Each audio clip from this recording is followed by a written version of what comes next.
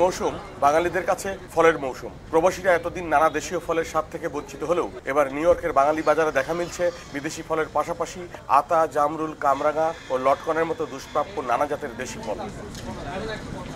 এসব ফল পেয়ে ভীষণ খুশি প্রবাসীরা। ফলের মৌসুমে দেশে আসতে না পারলেও সন্তানের মুখে দেশি ফল তুলে দিতে পেরে দেশকে ফেলে আসার কষ্ট খানিকটা কমেছে বলে জানান অনেকে। আমরা যখন আসছিলাম তখন তো কিছুই মিলতো না ফল দেশের ফল এখন সব কিছু মিলে এখানে মাছটা সব কিছু মিলে শাক সবজি আমরাও খাই আমাদের বাচ্চারাও খুব পছন্দ করে।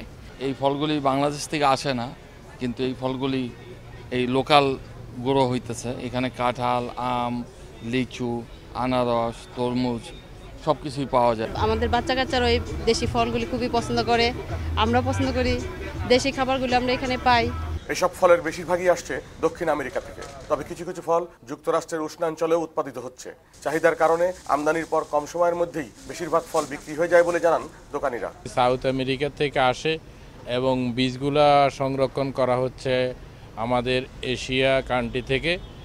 তো ওই বীজের কারণে আমরা দেশি ফল ফ্রুট বলে এখানে সেল করি। বাঙালিরা প্রচুর লাইক করে এগুলো। যেহেতু আমরা বাঙালি আমরা ফল প্রিয় জাতি বিশেষ করে আম কাঁঠাল লিচু। যে বিচিগুলা এশিয়া কান্ট্রি থেকে ইন্ডিয়া বাংলাদেশ পাকিস্তান ওইগুলা থেকে আনা হয় অনেকে আইসা এখানে ফার্মগুলোতে এনে দেয়। তারপরে সাউথ আমেরিকা থেকে আমেরিকাতে আসে বা ফ্লোরিডাতে আসে। আসার পরে আমরা দোকানে নিয়ে আসি আসার পরে বিক্রি করি। কাঁঠাল তারপর তরমুজ বলেন দেশি লাউ আনারস লিচি, এই বিভিন্ন অনেক ফল আছে।